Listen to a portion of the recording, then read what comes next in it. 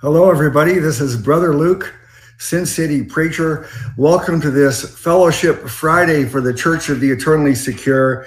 And praise Jesus, we're all here together again tonight to have fellowship. Let's let's stand up, everybody. Hey, thank you, Jesus. Thank you, Lord. Oh yeah, Amen. Constantly pray, continually in the Bible says, continue instant in prayer. So that means you should always be in prayer unless the prayer is interrupted because you're preoccupied with something. As soon as you're no longer busy with something, immediately your mind goes right back to the Lord. And what better thing to do than to praise Him and love Him? So uh, I'm excited about tonight. Uh, but before I get started and tell you what I'm going to try to accomplish tonight, a little bit different than usual, let me ask everybody here on the panel to take a minute and say hi to everybody. And I'm going to call on you from, as I see you listed on my screen from left to right. First is Got Jesus, brother Dave. Say hi. Hey, what's going on, everybody? Welcome to Friday Night Fellowship. How's everybody doing? I uh, want to welcome the uh, chat room, all the brothers and sisters that are joining in now. I uh, hope you guys had a great week. And all the people on the panel, God bless you as well. Excited to be here. Mm-hmm. Yeah, amen. Thank you for being with us, Brother Dave. And we got Sister Lisa for the Most High Jesus. Say hi, please. Praise the Lord, everybody. It's good to be with you tonight. Hello to everyone on the panel. Look forward to tonight's broadcast. Yeah. Amen. I'm so happy you could be with us. Uh, I, I know you told me last week you uh, were not going to be available, and, and then it turns out the, the whole program had to be canceled because of uh, uh, Matthias's uh, program going overtime. I decided to not even try to do it last Friday. So, uh, but I'm so happy you could you could be with us again tonight, Sister Lisa. I see uh, Renee is in the chat room. Uh, of course, she has the invitation, so maybe she'll join us. I don't know, but we know that uh, she and her family needs our prayers. Uh, they, there was a death in the family, and I'm sure they're still having a difficult time because of that. So, Renee, if you can join us, otherwise we understand. Uh, and, and, next we have uh, Sister Paula. Uh, Want to say hi to everybody?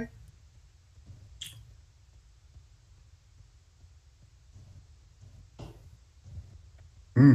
I don't know if you're saying hi, but your microphone's turned off. Yeah, she's muted. Yeah. Well, maybe she stepped away from it. We'll ask her to say hi uh, uh, again later. Okay.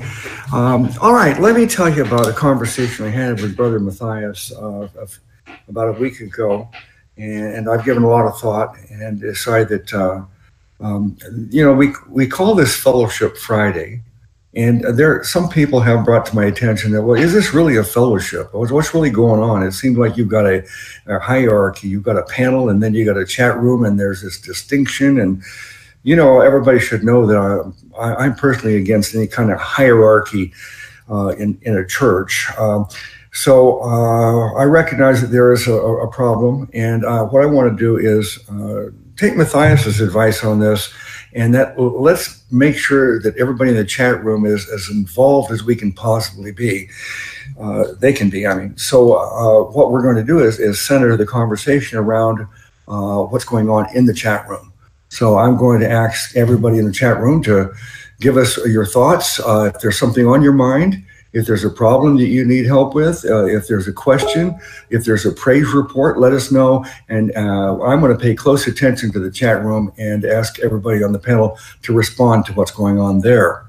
All right. So, but before I do that, let me ask everybody in the panel and uh, give me your thoughts and this, I hope, improvement. Anybody? Yeah, I think it's great. You know, we should um we should see if anybody that you know is in the chat has any questions or has any praise reports or any prayer requests or uh, you know just just whatever's on their mind. And uh, you know if we can help uh, encourage or address a certain thing then then uh, we're here for that you know? Mm-hmm. All right.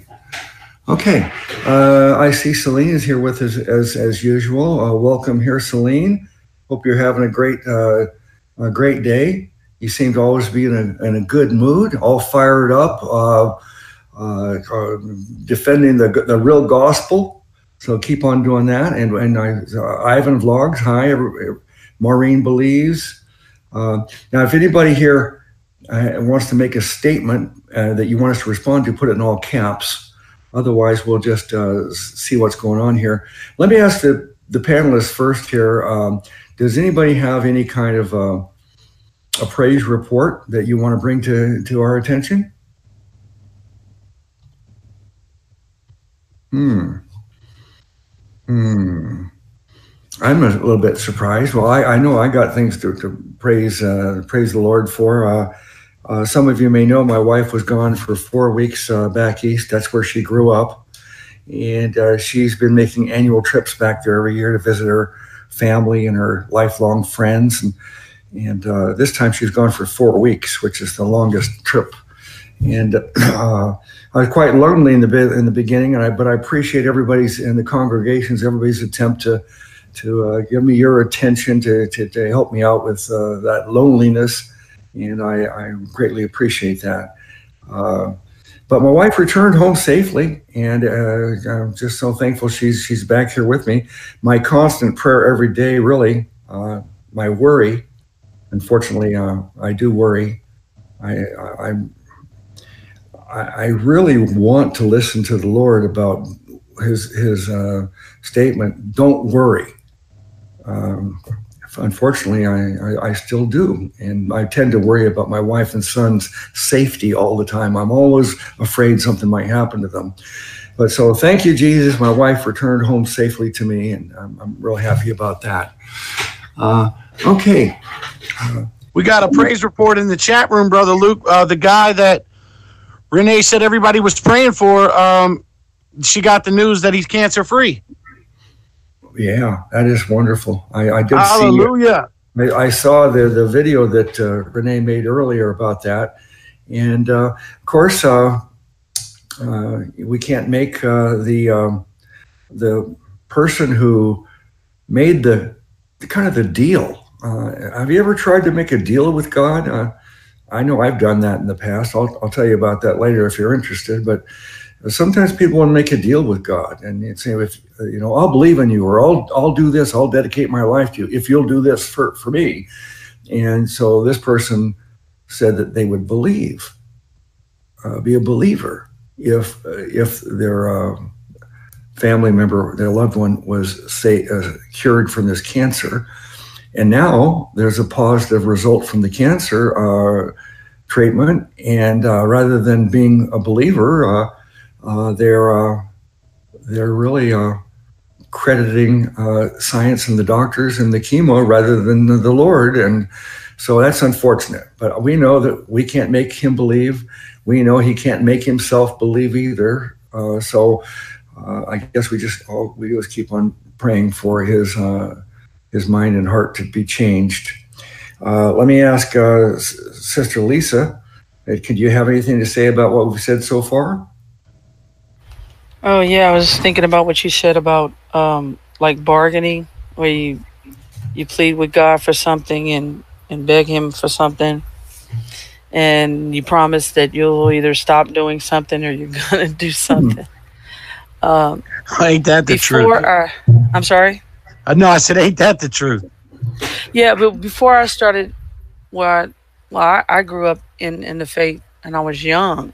So there were a lot of things I experimented with that I didn't know if it was right or not right. I just tried certain things. And that was one of the things one time I remember. And it, no, it did not go my way. It did not go at all what I, what I wanted. Um, it was a, actually a growth experience. And I had to learn to trust in Him and believe Him for, for the best outcome for my life, regardless of which way it went and that whatever I was going through, He would get me through. And that I had to keep my faith in Him, regardless of the trial or tribulation I was going through. Even if it was hard, even if it was ugly, even if it was nasty, even if it was dirty, if it was a not down, drag out fight spiritually, that He was going to get me through. And my faith had to remain in Him. It wasn't about, you know, um, bargaining, as they call it, you know, with God to get what I wanted.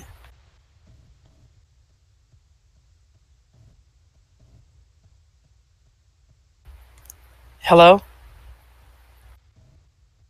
Yeah, I can hear you. I'm sorry. I tried to uh, turn my microphone off while you were speaking, Lisa, and I forgot to turn it back on. I'm sorry. Um, I, have heard accounts of people, you know, making these bargains, and and uh, sometimes they keep them, and sometimes they don't. But um, uh, in my case, I'll tell you what happened. It was, um, let me see. I retired in December of 04, and several years before that.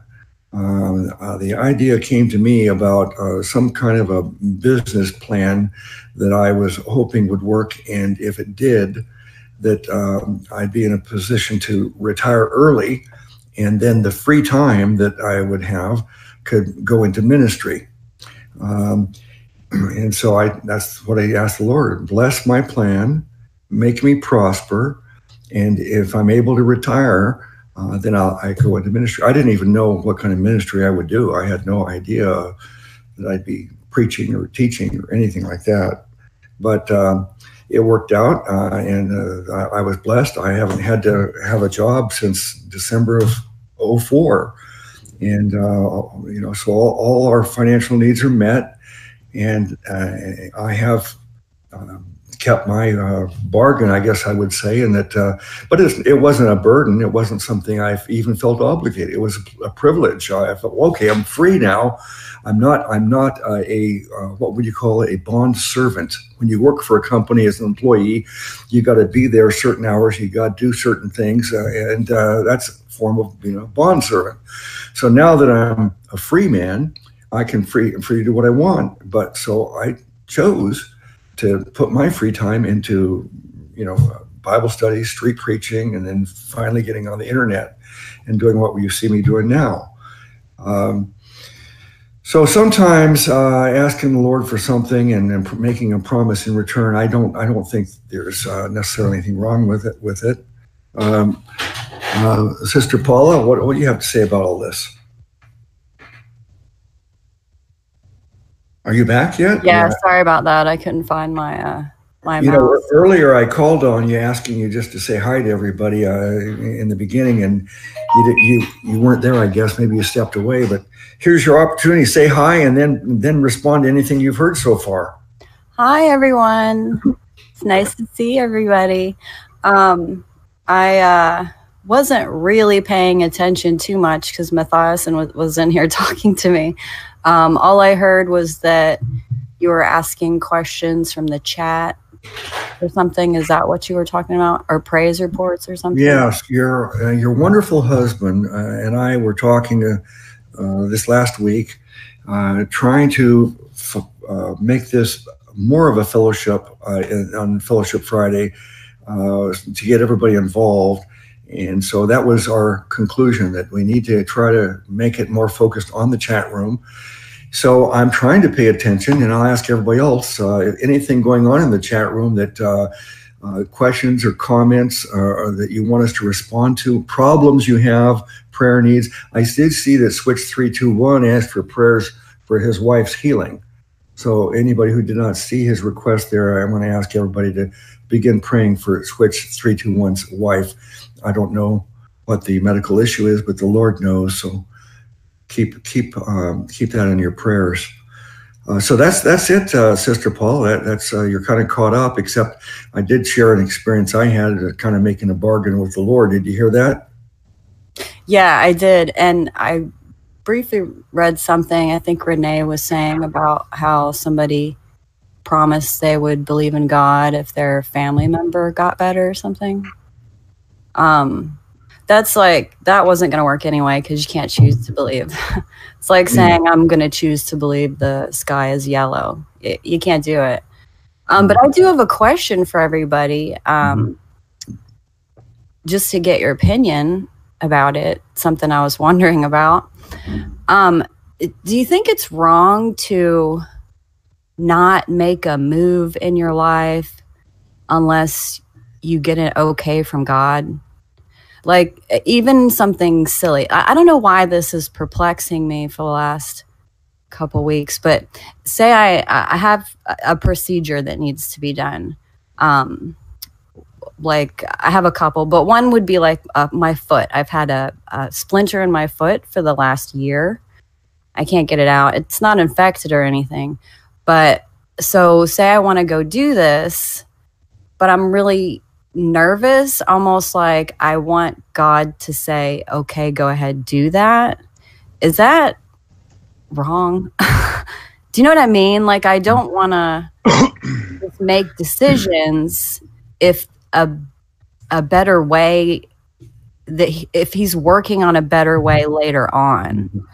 Well, I'd like to call on Sister Lisa. Uh, I, I suspect she has some thoughts on that. Sister? Okay. Um, well, yes, in, in my own personal experience with the Lord, I, there have been times that I have prayed and prayed and prayed and prayed about things, and all I get is crickets. I get no answer, and and there may be a due date on something that I have to perform or need to take care of, and I've asked the Lord, which way do I go? And I didn't get an answer, and um, I just learned to assess the information as best that I can and make a decision and trust that the Lord will bless me because the Bible says that the steps of the righteous man are ordered by the Lord.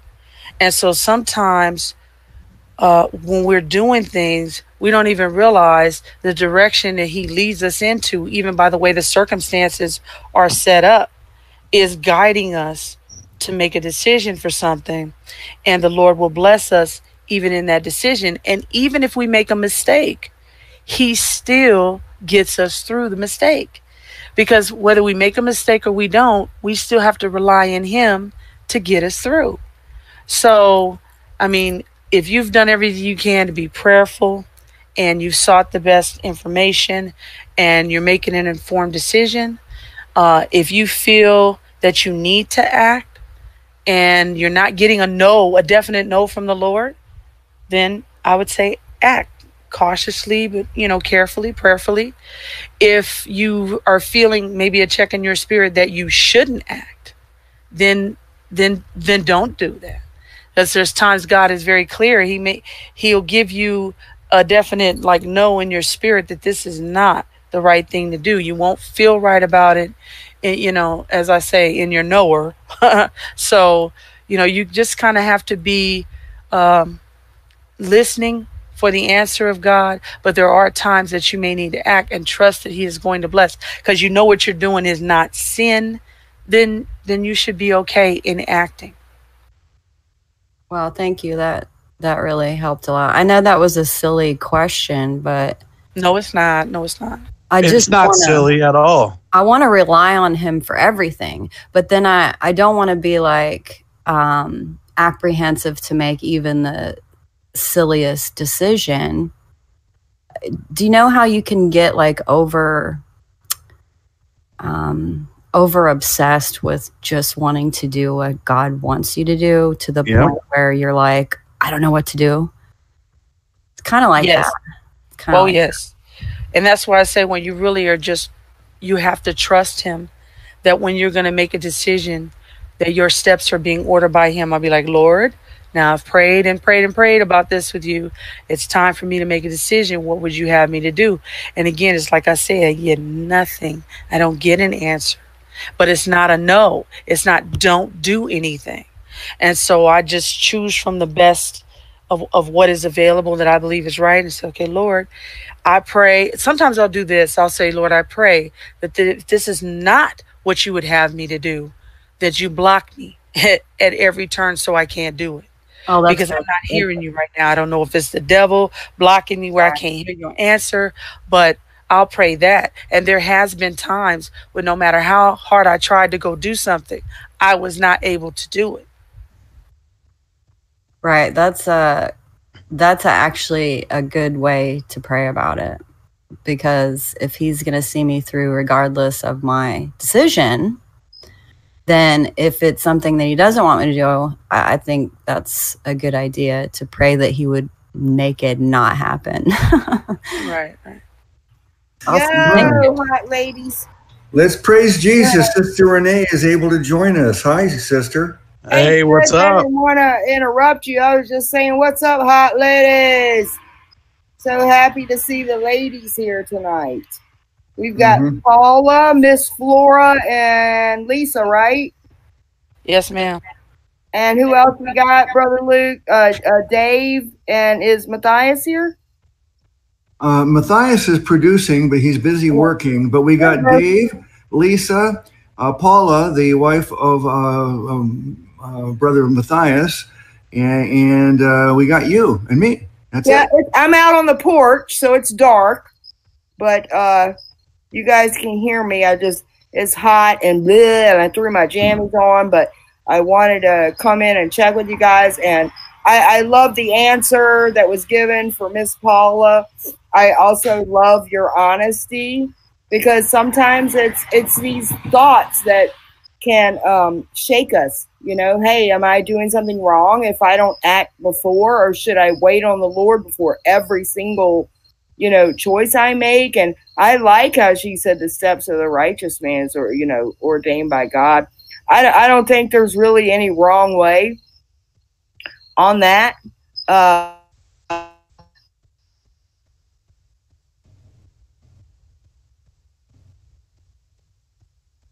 I, I'm I missed uh, the end of your statement, Renee. Uh, uh, but you're in the dark, but uh, your your light should be shining. Let your light shine.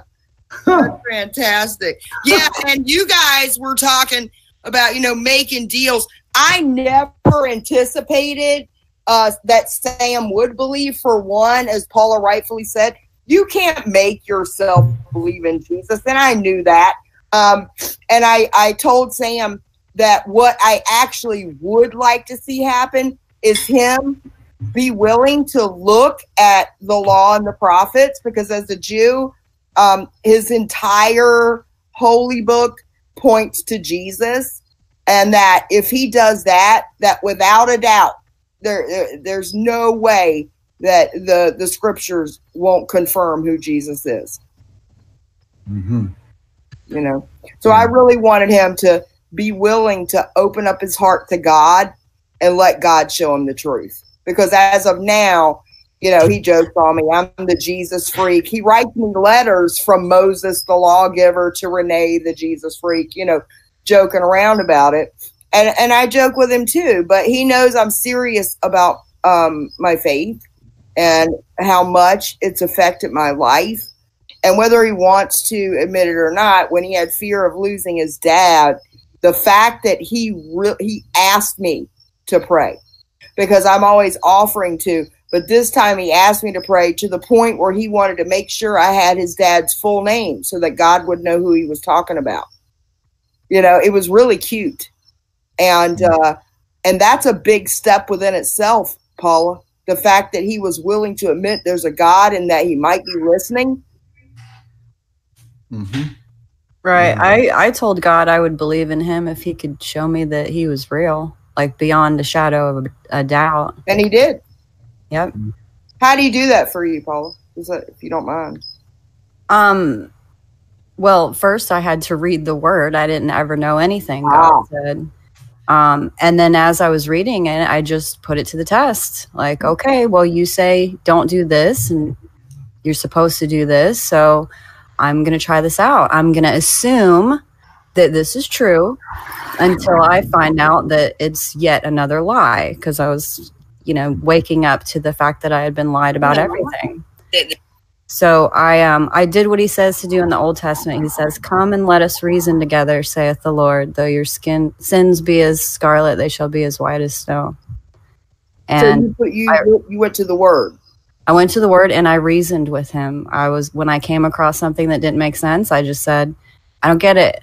Like, how come you said this in one part and this in another part?" Fantastic. And he, I just waited on him. He showed me in his time, and he brought me right, right to him. That's the difference between someone that's shut down, like an atheist will read scriptures and go, Oh, God's a genocidal maniac. He contradicts himself. And then they start judging God and judging his word, but they're not willing to let God show them anything. Right. Uh, that's that's. I always wanted to read the Bible because I was an atheist most of my life. I always wanted to read the Bible just to say that I've read the Bible. Right. And I started to read it in my early 20s and uh, I put it down because I thought, you know, I don't want to read this unless there's a slight possibility that I may actually believe what it's saying. Ah. You know, Muslims are told not to read scripture because it's got a supernatural curse on it, and the devil will trick Muslims into, uh, instead of being Holy Spirit that converts the soul, they believe it's a curse that a witchcraft that's on the book of the Bible because every time a Muslim actually reads scripture, they convert. That's weird because the Quran references scripture. Yes, it does. It says to that uh, to check the people of the book, to check the Gospels and uh, uh, the Torah. And so, because the Quran actually, uh, the the scriptures contradict the Quran, now they say our scripture is corrupt. Yet we have the same scripture we had long before. We can even show it's dated long before the Quran ever existed. Yeah, so uh, they can't show where ours is corrupt. So they just that's their lie, just flat. Oh, it's all corrupt. That's why it disagrees with the Quran.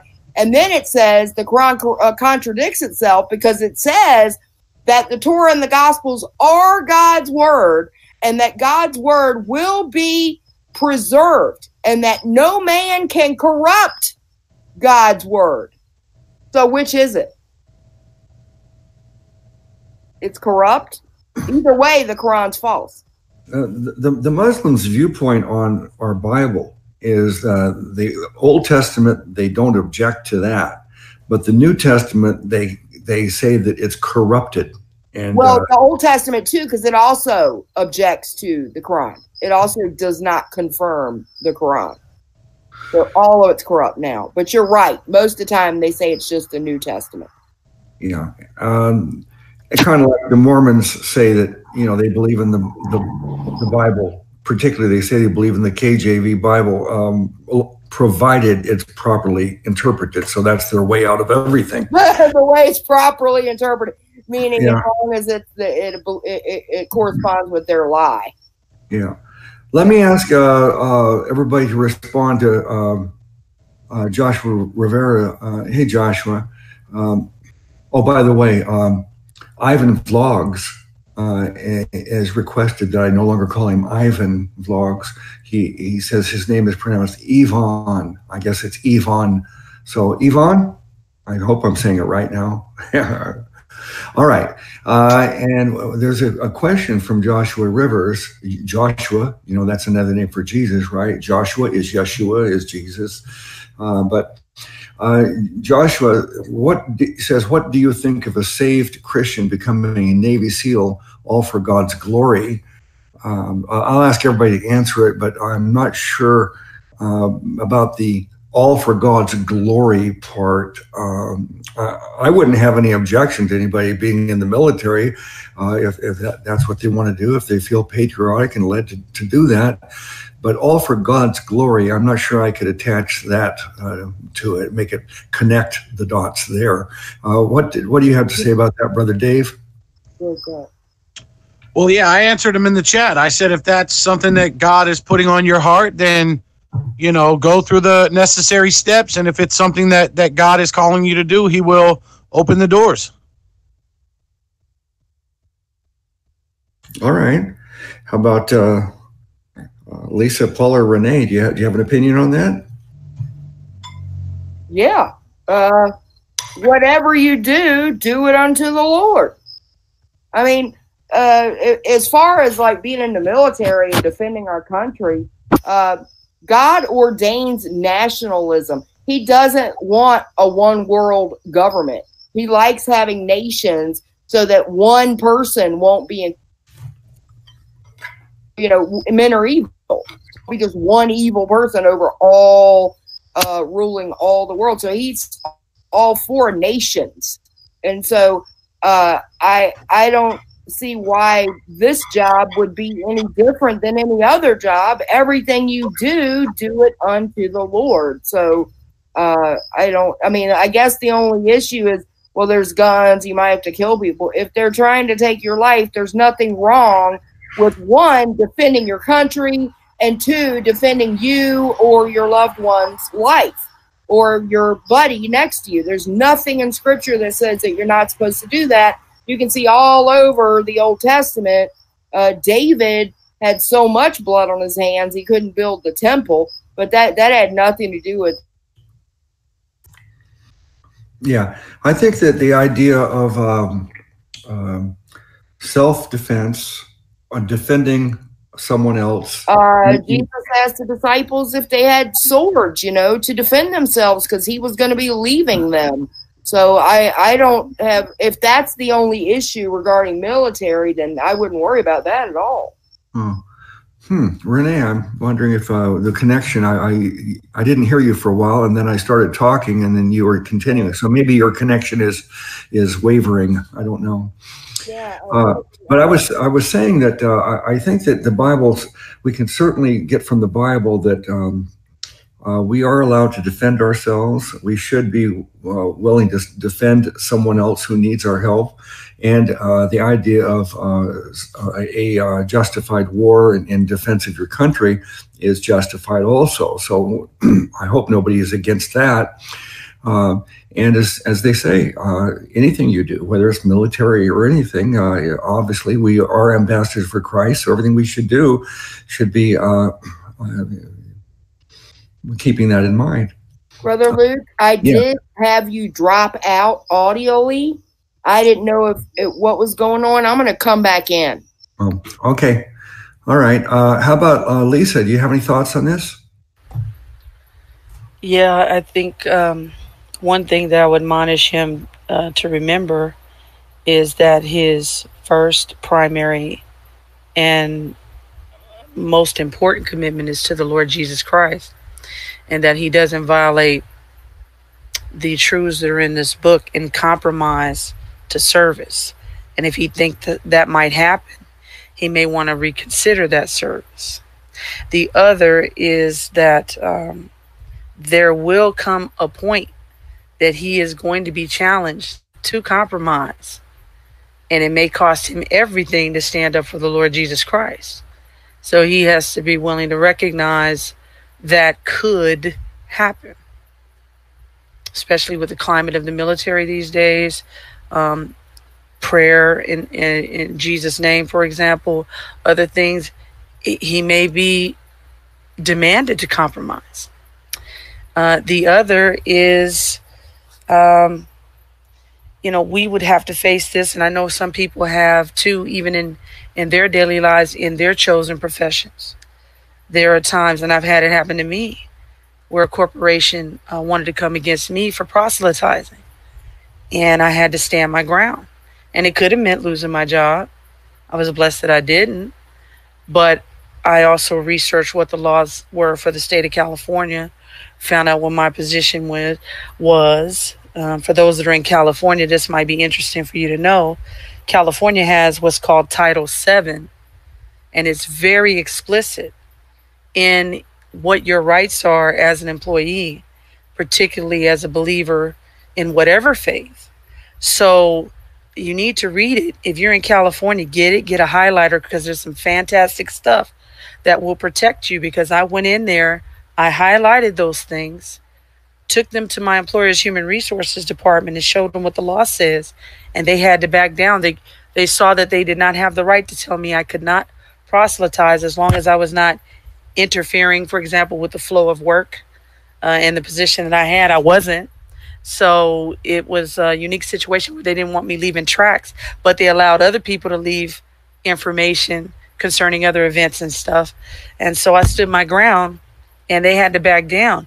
But you need to understand when you are a believer, the devil is going to challenge you. Certainly not going to be any different in the military.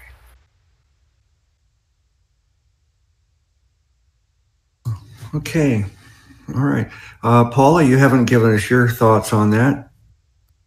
Um, this was a question about whether he should join the Navy SEALs or not. I think it was Yeah. he said Yeah. That he Yeah. feels like the Lord's leading him there. I would say do it. I mean, uh, I don't. I think that you can glorify God in it, most any vocation.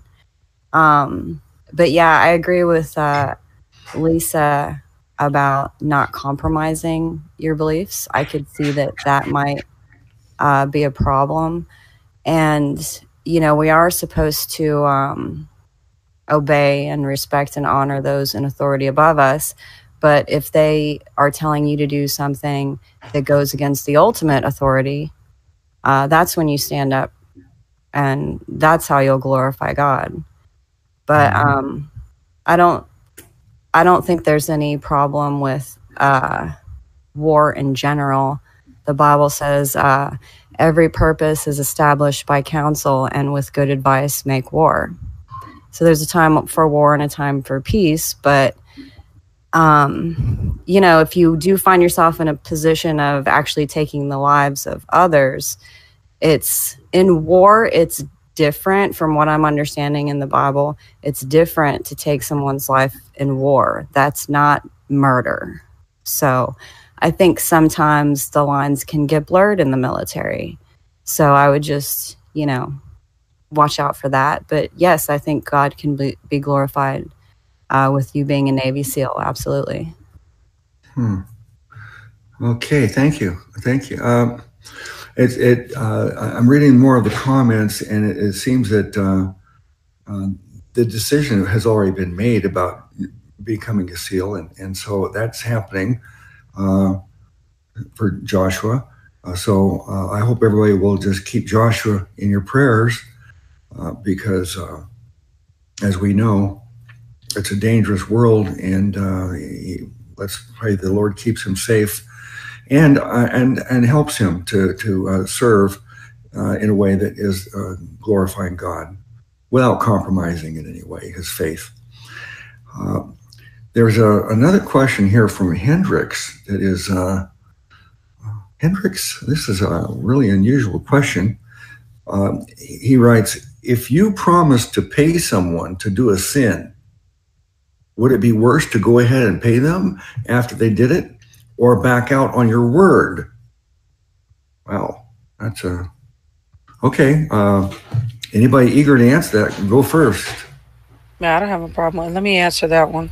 Yeah. Um, you're not obligated to do something that's ungodly, and what you should simply uh, tell them is, you know, when you made that promise, you did so in error, and that you cannot honor that promise because it was an ungodly promise. And your position now as a believer, that you recognize that error and you have to correct it and apologize to them. And maybe you can come up with some other thing that's not a compromise of your faith or putting them, you know, in a situation would cause them to sin that they can be satisfied with. But you certainly don't have to carry out an ungodly commitment and something like that. Uh, I certainly would love to have uh, the gray areas filled in. This is very vague and, and general. Um, maybe if I understood exactly what the, the circumstances were, I'd be better able to answer it. But uh, and who else wants to, to answer it now? I, think the question is really strange. when I'm reading it, I'm thinking of, you know, murder for hire or something. Because I can't think of, I mean, I can't think of anything else you would pay someone to sin, to do a sin. Well, you could, you could, uh, let's say, hire a prostitute and, and uh, you're hiring them to commit a, a, sexual sin with you. And then, and then say, I'm not going to pay pay you. That I mean, I could see that maybe fitting the scenario also. But it is uh, Hendricks. You this I got to admit, I I uh, I don't really think I understand how maybe it could happen. It, it, it's not only hypothetical, but I don't I don't see how this happens unless you can. Uh, will you will you please, uh, if it's not per personal and you're divulging too much, I don't know if this pertains to you or it's all theoretical, but if you can fill in the, the, the blanks a little bit and tell us more specifics, I'd appreciate it. Anybody else want to uh, take a stab at that one? Okay. Um, all right. Let me. Uh, I've. I said what we're going to try to do beginning tonight is to not only engage the the chat room and make sure that this is a fellowship of uh, the the panel and the chat room, all one uh, congregation. But also, uh, I I know that uh, some of you I've seen in the congregation for a long, long time. Uh, Victoria Sarton, um, maybe you you you have the most seniority, or you're up there uh, tied for number one in seniority. You've been uh, participating for a long time, and I greatly appreciate you being here and all your thoughts and input and encouragement. Uh, so, if there's something that you wouldn't want us to respond to, if there's anything that you have uh, been uh, thinking that you wanted to bring to us, uh, go ahead and do it now.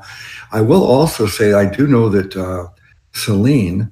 Uh, she has made a point uh, many times, and probably everybody's aware of it, about her experience uh, in life uh, Uh, in dealing with uh, the lordship uh, heresy. And she believes the real gospel now, but she has a lot of frustration because of family and friends that, that, I guess are still in this false gospel camp. And so she's it's very difficult for her to to deal with that. Um, so let me ask anybody in the chat room if you uh, if you have any thoughts on uh, or words that maybe will help Celine. Uh, she's it's a constant struggle for her dealing with this as a, it's frustrating. I think. Hey, brother Luke, I would just recommend that she, um, you know, continue to, you know, ref- refresh her mind. You know, the the chapters in the Bible of grace and and if she ever encounters a situation where, you know, she's running into uh, any legalism or anything like that, that she gets very familiar, you know, with those sections of the Bible that she can, uh, you know, recite God's word to whatever situation, uh, you know, she's facing.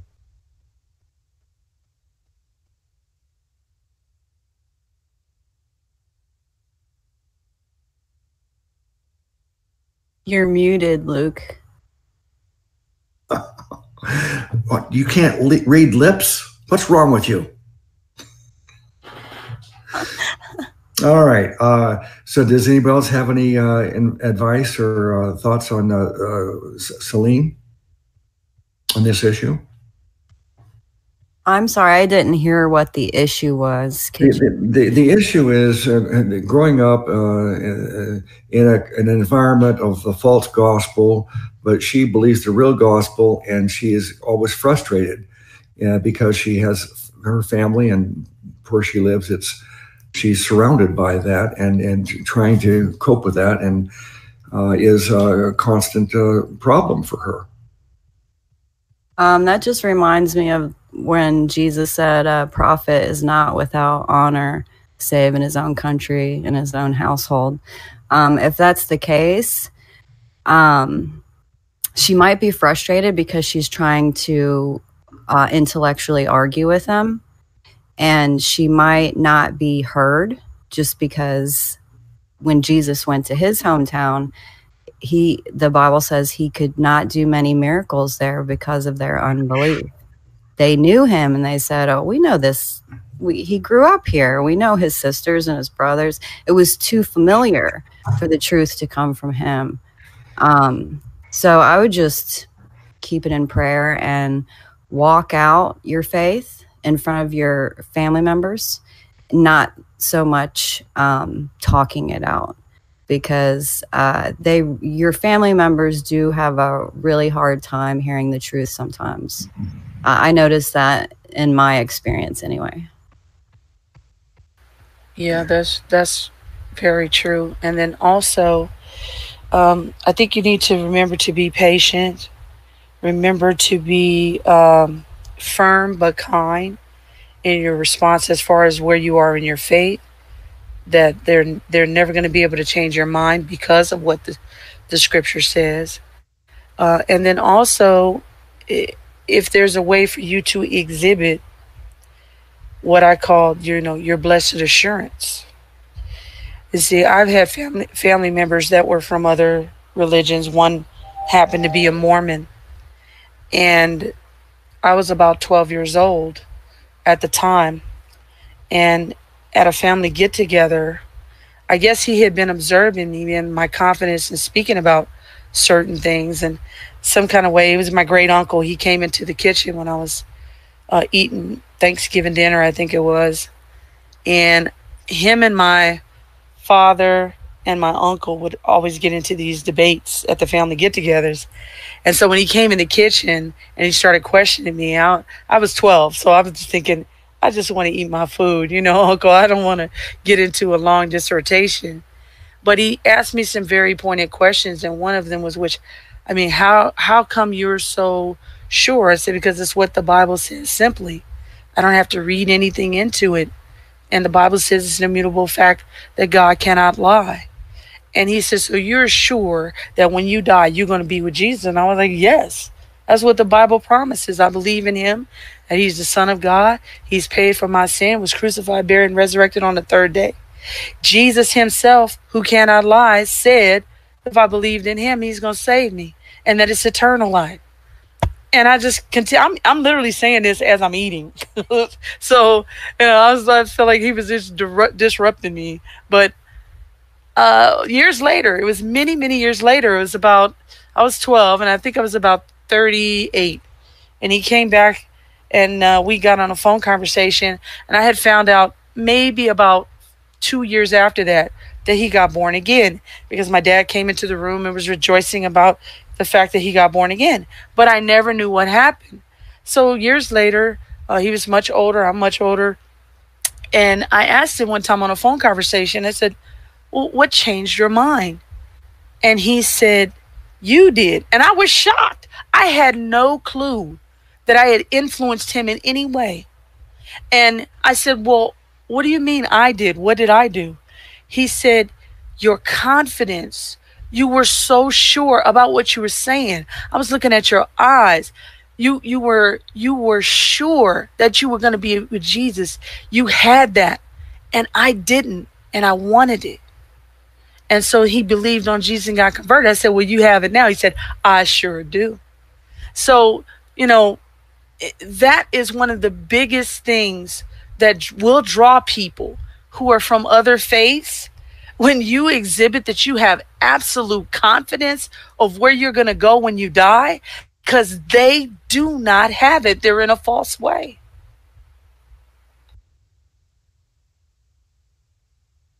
okay thank you um, I, I want to say that uh, um, I think it was Paula that, that said that um, even Jesus said a prophet is not honored in his hometown. And I know Matthias has acknowledged that. I, have acknowledged it uh, as a fact that um, if you're too close to them, especially if they've observed your life and they've seen uh, that uh, hey, you're just an ordinary person like everybody else. Uh, what makes you uh, an expert on this? Why should they listen to you? Um, whereas um, if someone comes in from out of town, uh, they can be easy, more easily accepted as maybe an expert from uh, another city or something. So um, you you may have a lot more success uh, in your in your witness and uh, gospel message uh, to people you don't know um, rather than the people who know you that well. However, the people in your family and your friends, uh, I would say the, the best, best witness is, is not necessarily what you say because they're going to say, well, who are you? You know, they don't respect your, uh, your uh, authority. Uh, but what they can do is observe you for five years or 10 years. And I've seen a lot of people observe me over many years, 33 years now coming up in December, that I've been uh, Christian. And uh, I know a lot of people have seen the change, and not only in uh, the way I think and, and act, but also in the way my time is being spent in this ministry.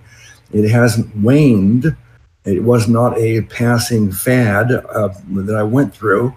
Uh, and um, that kind of uh, testimony has more weight on your family and friends than all your apologetic arguments, I would say.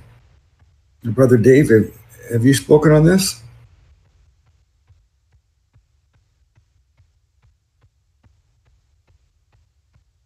Are you there? Yeah, I'm here. Sorry, I had to run and get a. I had to run and get a glass of water. All right. Okay. Well, did you? If you didn't hear me, then I'll. I'll um, I caught the end of it. What were you saying? it was too long. Uh, I can't repeat it. It was too, too long of a story to say it again. Um, let me That's all right. ask. Um, uh, let me see. Someone else had a question here about the lukewarm. Um, who wants to explain the verse in the Bible that talks about be hot or cold, not lukewarm? Uh, I will if no one else will go. Okay, go, go ahead. Go ahead, Paula. And this is just my opinion on this. Um, I don't know what the church fathers' opinion on this or anybody else, but what I get from it is um, the hot, the lukewarm, and the cold. The Lord said, I would that you were either hot or cold, but because you're lukewarm, I'm going to spew you out of my mouth.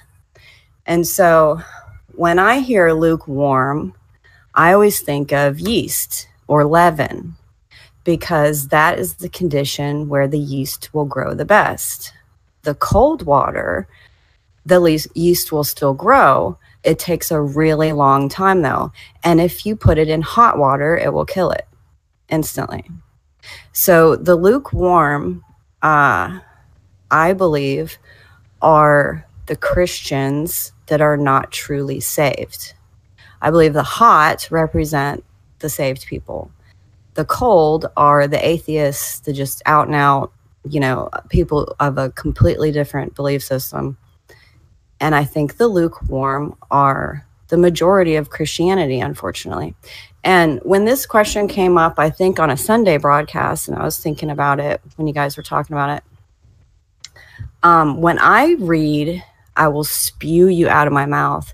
And I think, okay, what is he talking about? Because the body is all believers and Jesus is the head. So, what is coming out of him? And I thought of vomit because you vomit out of your mouth. And what that to me, I know that sounds gross, but what to me that is, it's these people that are inside the body of Christ, but they're not of the body. Because you can have the contents of your stomach come out of you and you're not losing any part of your body at all. It's in fact shouldn't be there if it's coming out of you. So that's just how I take it. Um, That's interesting because I I personally have a I think it's a little similar as to where I see when Jesus says that he wishes that you were either hot or cold. He doesn't I don't see him specifying that hot or cold is bad, but you know, hot has its uses, cold has its uses, but lukewarm is basically good for nothing. And kind of like what Paula just said, I kind of see uh, that within the church body, since the letter was written to the churches, um, I see Jesus giving a warning that, you know, those that are inside the church that are lukewarm, he says in the next verse that they're, you know, well to do, they're, they're, uh, you know, they say they're rich, they have no need of nothing. They, they don't really know spiritually that they're dead, miserable, poor, blind, and naked. And so I think Jesus is, is calling those who are in the church amongst the saved believers who aren't saved to repent and put their faith on him to be saved. That's the way I read it. Yeah, and the other thing about the cold, because someone had said to me once, well, you know, that doesn't make sense because why would he prefer them to be cold? If hot is believers, lukewarm are um, uh, the majority of Christendom, and the cold are the atheist, I think to myself, well, it's easier to deal with an atheist than it is with someone who's playing the game of Christianity because they're they're Judas. They look just like us. They talk just like us. Um, they're good people.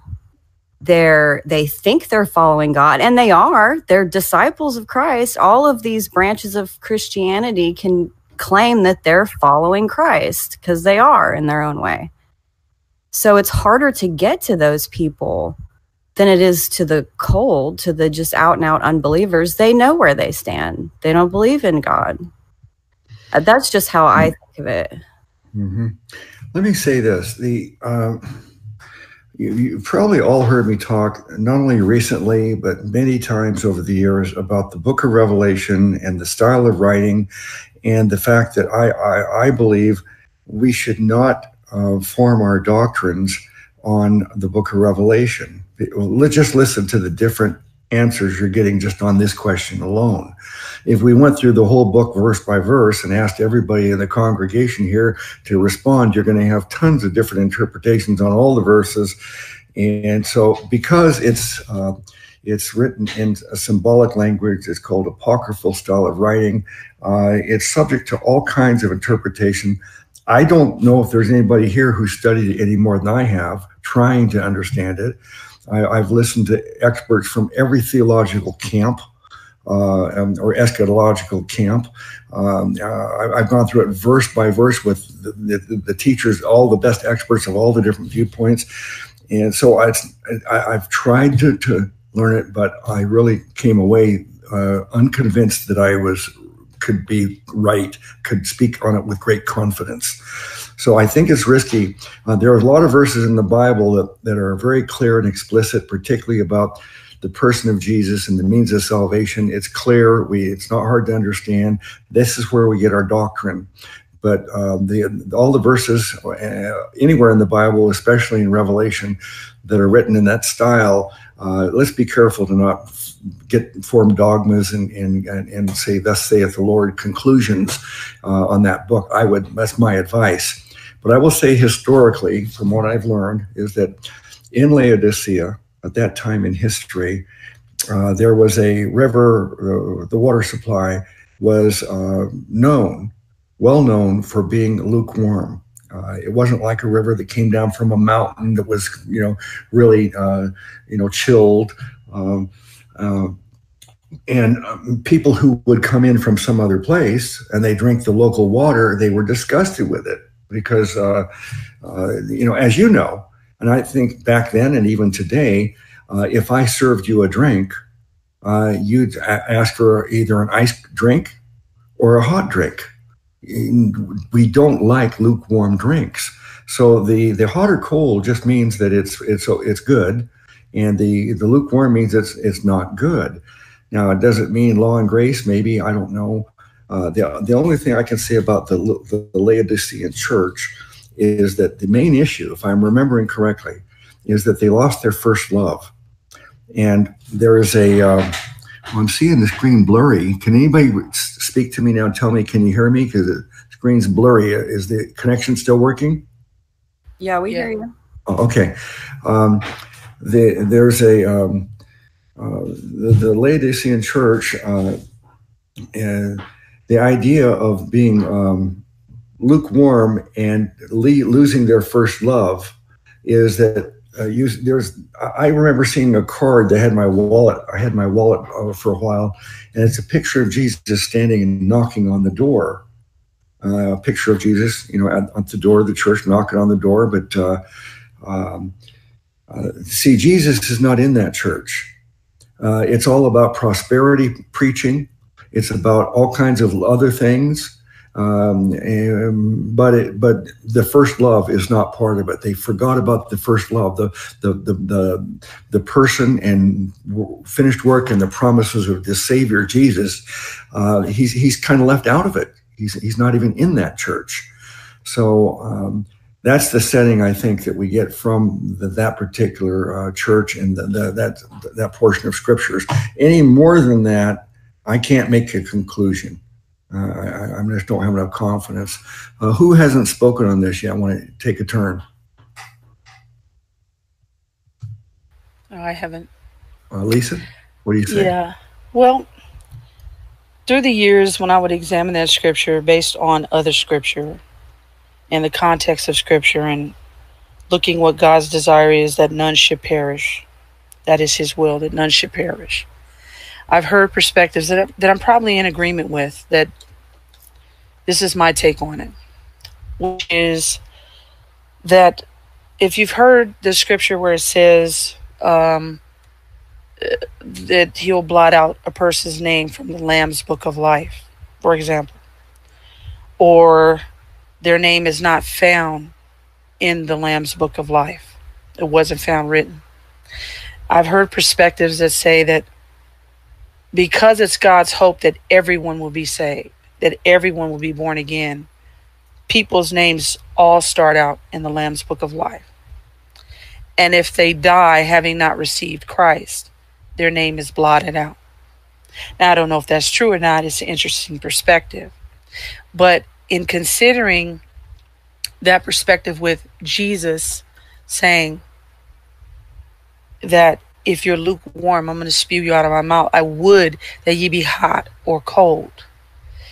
Uh, there is a scripture that talks about those who their the love of many would wax cold. Well, the many that he's talking about are believers.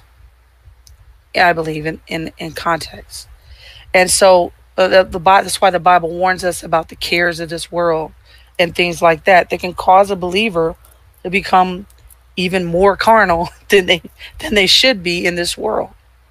And so I wonder, I, like I said, I'm not ready to die on die on a hill concerning this, but that when he says that if they're lukewarm, it's because the person has not made a decision for Christ. They have not believed on Jesus. And so he has no alternative but to spew them out of his mouth. The time that this is happening when he's judging the churches, this judgment that is coming is, uh, you know, judgment begins first at the house of the Lord, is prior to him judging the world. And he judgment begins first at his house. So not his, you're going to get spewed out. Uh, it's not unlike all the people he's bid to come to the wedding. They're not coming. And there comes a time when he closes the door. And so I see it in, in, in light of those things that the person is cold, they're still saved, they just, they're cold. And then you got the people who are hot, we always term as on fire for Christ, right? So they're hot. But the people who are lukewarm are people who have not chosen one way or the other.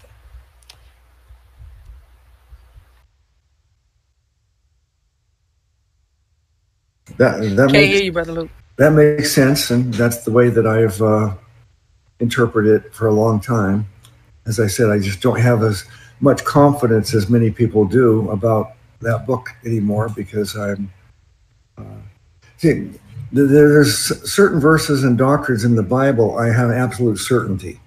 I have no doubt at all about who Jesus is and the, my the gift of eternal life I have. But then there's other subjects and verses in the Bible where I have a high degree of confidence, but I'm not certain. And then there's others where I'm absolutely, I just don't know. I just cannot cannot you know, figure it out, or have confidence that I'm right. Uh, I hope everybody can admit also that that uh, we are all fallible, and and, and none of us are um, omniscient. Um, but I do like to conti- I continue like to hear other points of view, especially if someone ever disagrees with me. Uh, that's when the conversation gets interesting to me. Listening to somebody agree with me, well, I don't need someone to agree with me because I already know that. if someone has a different point of view, that's what I want to hear and consider. Uh, all right, let's see. Anything else going on in the, fat, uh, the, the chat room? Maureen, uh, why don't you present a question to us, Maureen? A question or a point that you want us to respond to? Oh, what do you guys think about tithe from uh, Lipa Jalina?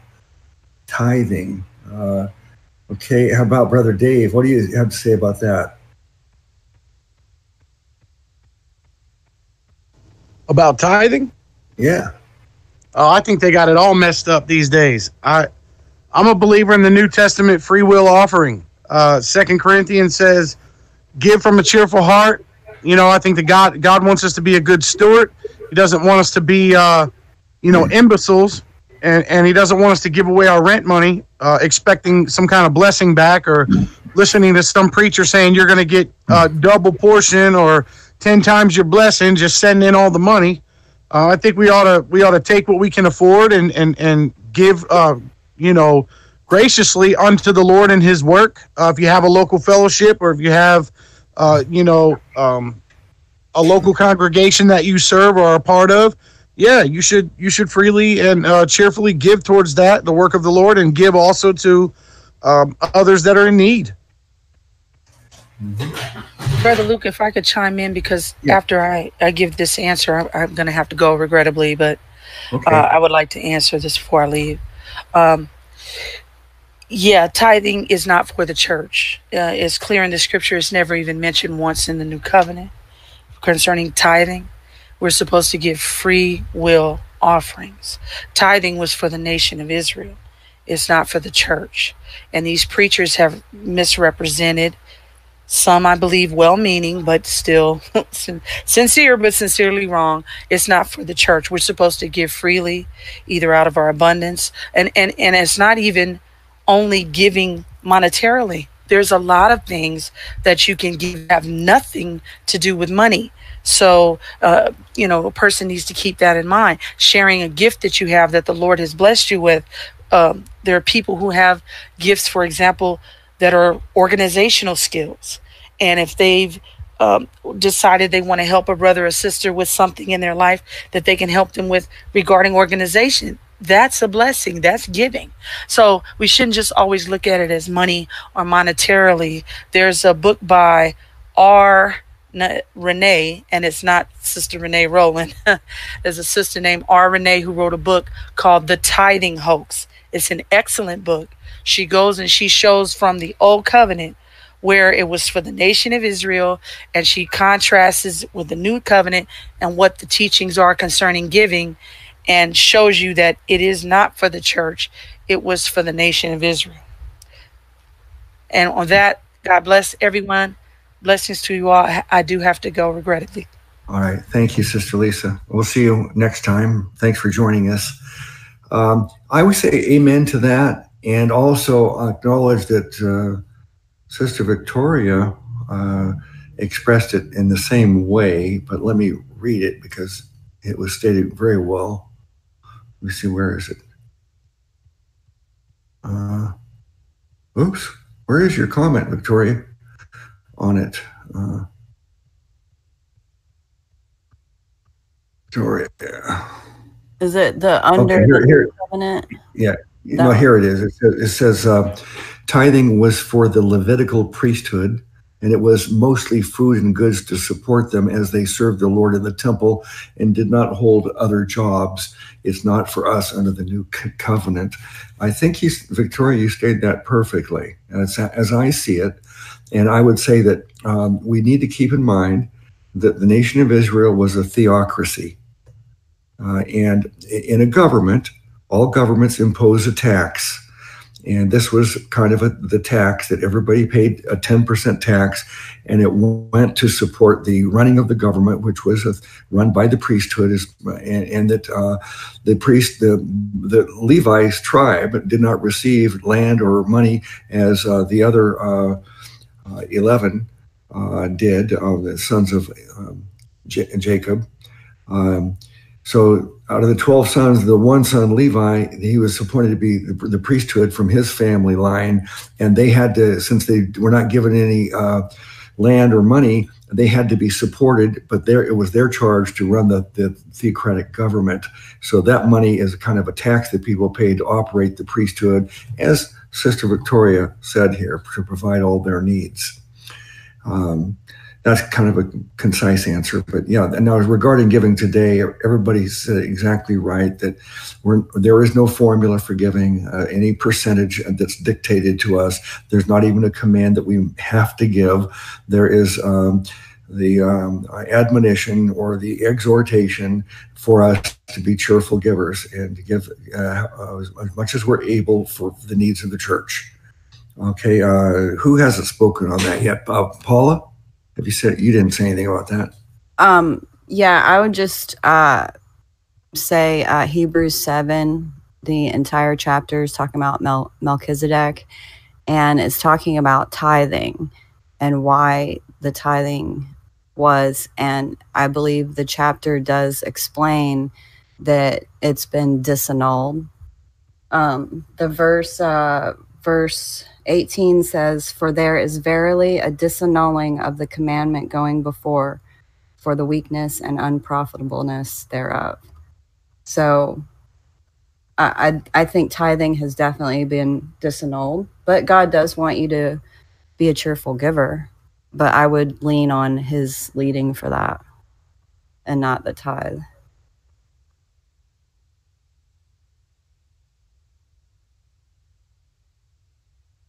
Oops. okay. Um, I've been I'm trying to respond as much as I can to the questions and thoughts in the chat room, but uh, let me also just ask everybody here in the panel also if there's something on your mind that you want to bring to to the um, into the discussion. Uh, uh, praise report, anyone? Um, um, needs uh, a subject that needs to be discussed that uh, let, let me know. Mm-hmm. Other than that,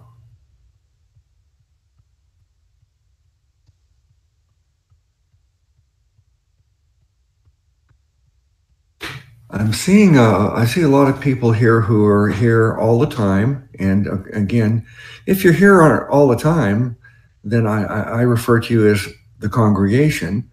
If you're here uh, for the first time, uh, uh, I want to acknowledge you. I everybody seems familiar as I'm looking through the chat room. I I recognize all the names. I think uh, so. If you are here for the first time, if you make a type something in bold print saying I'm here the first time, so we we know who you are and we can welcome you.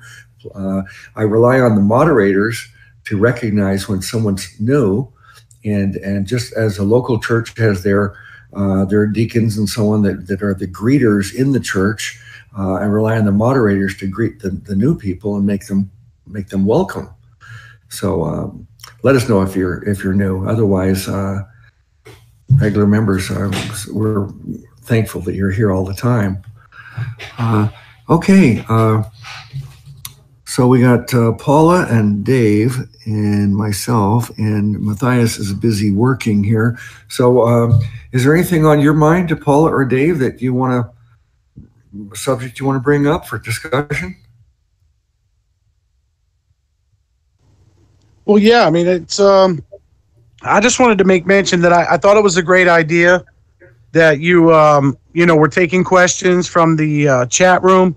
Um, seems not a not a lot of prayer requests came in. Let's just all remember to uh, pray for Switch and his wife Pray for uh, Joshua and his decision, and the uh, pray for Sister Renee as she uh, continues to deal with the uh, family tragedy.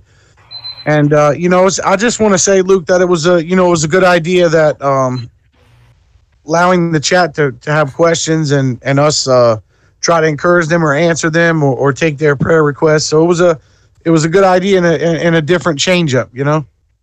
Yeah. Okay. Uh, thank you, brother Dave. I, I and uh, it was uh, it was the result of uh, some criticism that I considered in discussing with Matthias. Uh, we thought, well, maybe we can designate one of the moderators to be kind of like the intermediary to between the chat room and, uh, the, the panel. But I thought, after thinking about that, well, why can't we just do it directly? Let's just make sure that we are paying attention in the chat room and responding to their your thoughts. Um, so uh, I'm glad that we're doing it. Uh, uh, right, Luke. I think it's great. And actually, if you you know you're letting people know that I guess this is the format now that you want to go with. Um, yes. So they can prepare questions because I know uh, when I first started to sorry about that. Um, to uh, this one church, I realized at the end of the teaching session with the ladies group, the leader, the head woman would ask if we had any questions or, you know, and we would all just be kind of like dumbfounded and we we wouldn't know what to say because we hadn't prepared for it because we had prepared to just sit and listen and not bring our own issues to the conversation. So the next time you know, we thought about it and we all had, you know, things we wanted to bring up. But I think it's just uh, how you're talking to the chat now and saying, does anybody have any questions? Everybody's just like, uh, probably, but I can't think of what they are right now. yeah. good good point. So uh, let let's remind everybody in the chat room now, and let's keep let's keep this as the protocol and kind of the format for the Fellowship Fridays. In that, uh, if you have questions or any point that you want to make uh, and you want to be the subject of the discussion, I have them ready. Hey, Hendrix is back. I'm glad you came back, Hendrix. I hope you didn't go, didn't uh, go leave uh, mad. I know you didn't really, but uh, um, there's there's really no question. I, I remember um, a couple of years ago, we had someone ask a question on a Sunday, and we happened to have somebody on the Sunday panel that was not normally with us, and that particular person doesn't really um, uh, is not known for diplomacy, and so they referred to the question that was asked as a stupid question, and I I tried to calm things down and uh, say that there's no such thing as a stupid question, and that. Uh, uh, so uh, I hope I didn't give you that impression. I just didn't really understand it necessarily, but I hope that we uh, we we satisfied you in, in, the question, Hendrix. And Hendrix, I, I, I refer to Hendrix as the captain of the moderators because of his faithfulness in the chat room and his great judgment he, he has really great discernment to recognize how to deal with a problem, he, uh, how to uh, connect the chat room with the panelists, get our attention, uh, how, how to uh, enforce the rules when necessary. Hendrix, you're really a model for that, and we're you're greatly loved and appreciated. I appreciate all the moderators. Uh, so. Uh, all right. I guess we're getting close to 11 p.m. I want to try to end it by 11 because uh, it, it's 11 Eastern It's getting late. So uh, let me ask uh, if there's any final question in the chat room, bring it up now. Uh, we'll maybe answer one more question.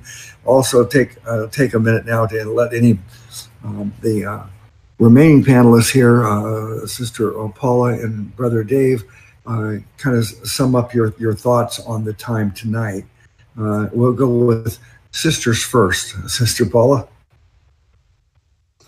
Um, yeah, I thought it was good. It was fun. Um, uh, every time I have one of these discussions, I always learn things.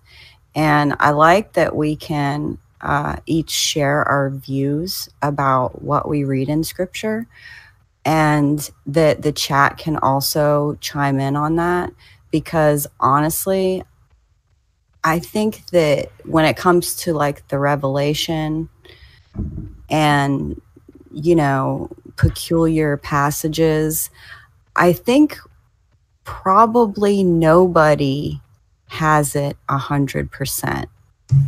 They're not they're not interpreting it a hundred percent right. And it's probably little bits and pieces of all the believers that how is how it's going to play out. So I I, like you, Luke, am always interested in hearing other people's points of view um, because then it really makes me think. And I don't have, this is the important part, I don't have a pet doctrine.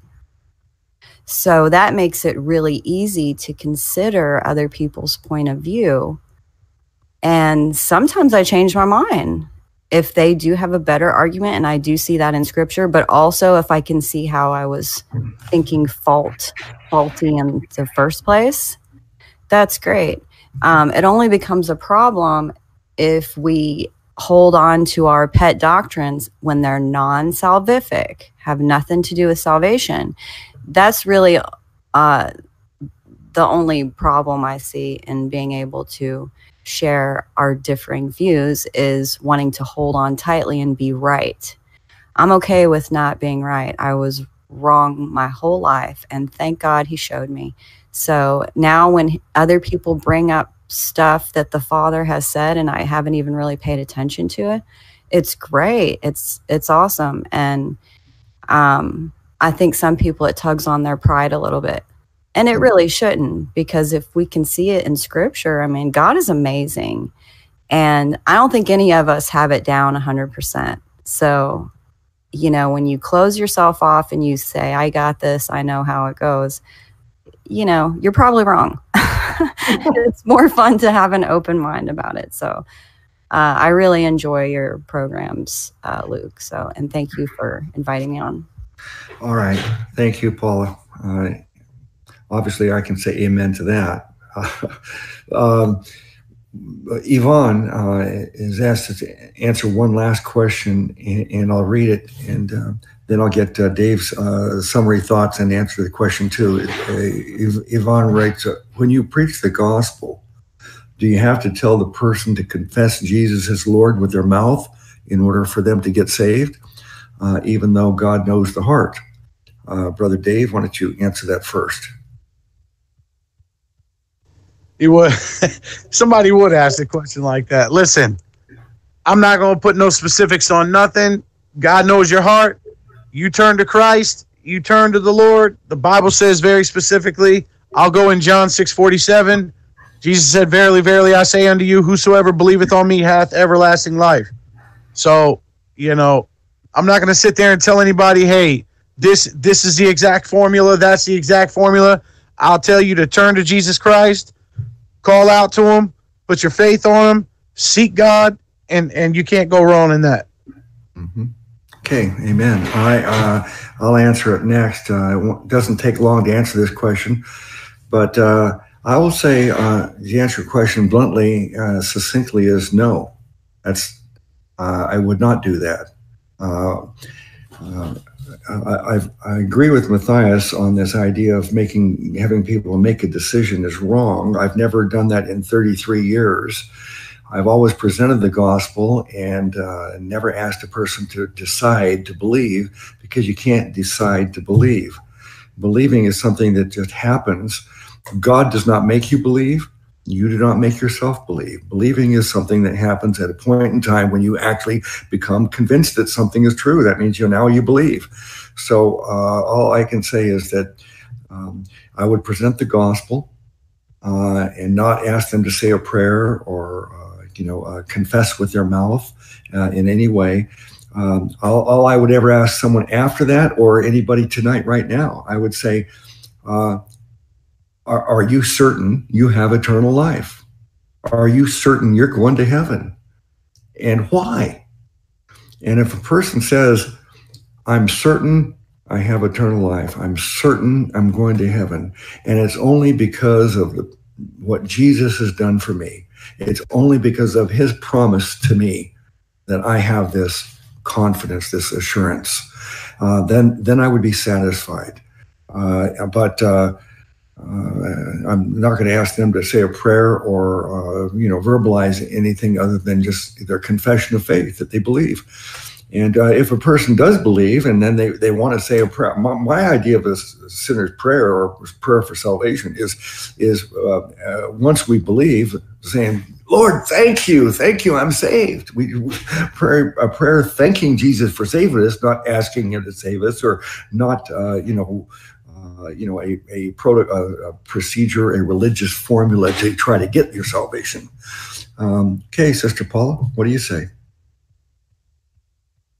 Um, I would say when you preach the gospel, you shouldn't be looking to close the deal.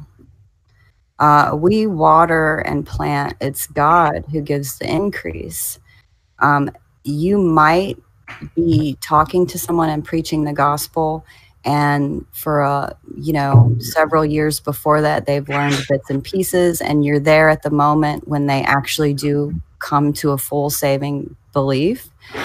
But the way i think that the church system uh, runs soul winning is to go out and get check marks and decisions.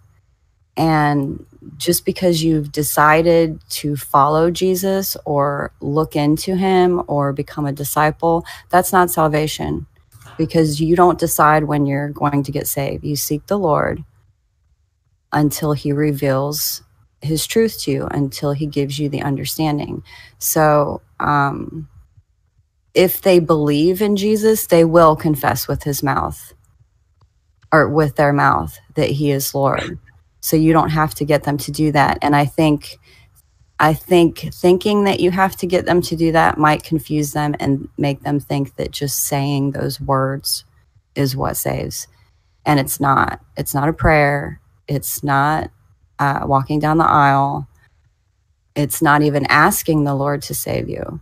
It's learning of Him learning to trust Him and waiting until He shows you that He already did save you and you believe it. Yeah. Amen. So the the idea of going forward, an altar call that was popularized by Billy Sunday. It was called the Sawdust Trail. You'd walk out the the tent, the floor was covered with sawdust, and people would walk forward. Uh, and, and, then then it was uh, also done another way by Billy Graham, where they asked people to come forward, make a decision for Christ. Uh, these things are not biblical. It's not the right uh, way, I think, to uh, do evangelism.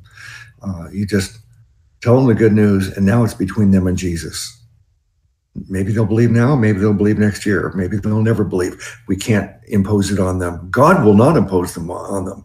God will not prohibit them from believing. So, okay, uh, I guess that's it for tonight. Uh, I enjoyed the time with everybody. Thank you, uh, Paula and Dave, for being with, and, and Sister Lisa too. Was there somebody else who was here that I'm forgetting? Seemed like there was one other. I guess not. Uh, all right, thanks for joining us. Uh, don't forget to join us uh, uh, Sunday at 5 p.m. Eastern for the Church of the Eternally Secure Sunday service. Thank you, congregation. Thank you, um, moderators, and bless you all in the name of our great Savior God, Jesus.